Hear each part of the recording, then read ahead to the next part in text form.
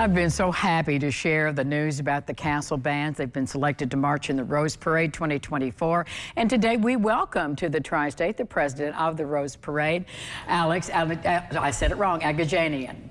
Aghajanian, am I close? You're close. Good. You're right close. there. Right there. And we thought for a minute he'd won the lottery thing.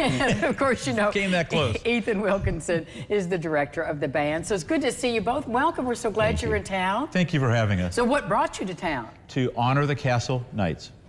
Uh, we selected them to be in the parade. This year's theme is Celebrating a World of Music. Uh, we picked Castle Band from the finalists of the Bands of America contest. Uh, they were so precise and, and musically so uh, well uh, done that we had to pick them. It was a wonderful selection for us, so we're here to help them with their fundraising. Well, and that's a feel-good job, too, isn't it? And you see all these talented young people, and it's picking apples over oranges, but you've got to feel good about bringing all these young musicians to this marvelous event. You know, this theme, uh, music unites us. It's a universal language, and we travel around the world for the bands that are in the parade. So we're just in Costa Rica. The Costa Rican young adults were, want to see all the young adults here in the United States. Oh. They want to play together.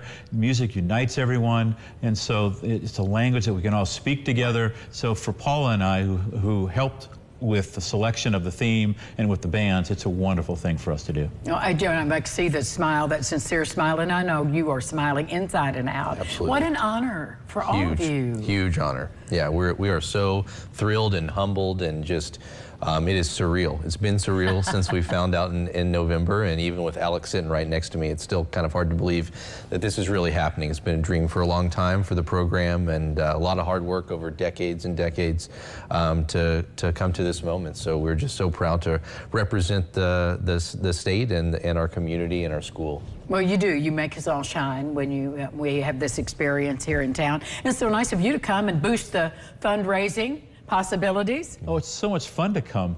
Look at the energy around this band. You know, some of these kids have never been on a jet. They're going to come to California. They've never been west of the Rockies, never seen the ocean, and they're all going to come out. And there's about 4,500 young adults coming to play in the Rose Parade, and they all get to play together.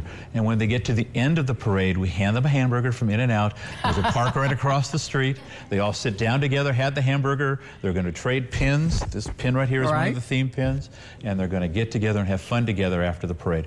What fun. And an In-N-Out burger, boy, that takes me Mm. back to California days, too. I love an In-N-Out You burger. had an In-N-Out burger? Yeah, I lived there. lived in Fresno for a while. Oh, so, outstanding. Yeah, yeah, it was great. I, I missed those. They were good. you, do you get a burger, too? Do you Oh, know? of course. Gonna, okay, going to feed, feed He gets them. two. I'll, He's an I'll get a couple burgers. yeah. So, Ethan, tell us how we can help you get that money, because it takes a lot of money to move those kids It does. out there. It does. Yeah. Each each student is responsible for four thousand dollars to to make it over to California. We have.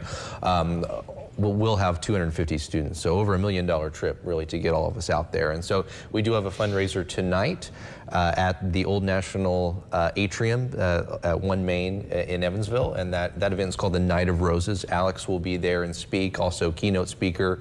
Lieutenant Governor Suzanne Crouch will be there as well. Wonderful. Entertainment from the Castle Jazz Band, food and drinks from uh, Just Rennie's Catering. And so that's a great event. Come out and buy a ticket if you can.